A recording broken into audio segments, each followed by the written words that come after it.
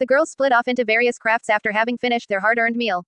Jihyo remained at the cooking pot and tried a baked sweet potato which she deemed delicious. She then showed off her kind heart by immediately offering her director a taste of the savory treat. Jihyo gave it to her director and even double-checked to make sure it had cooled off enough.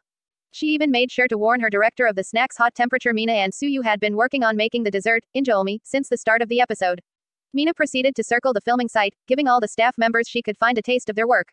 Tzuyu even checked in to see how everyone was liking the tasty treat.